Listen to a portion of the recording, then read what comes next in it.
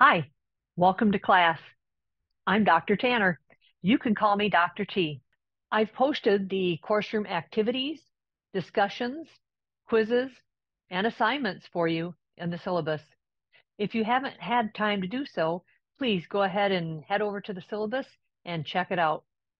If you need me for anything throughout the semester, please go ahead and reach out to me via email or just leave me a message in the course room. I'm usually pretty quick to respond. I look forward to getting to know everybody in class and seeing you in residency. Have a great day. Bye bye.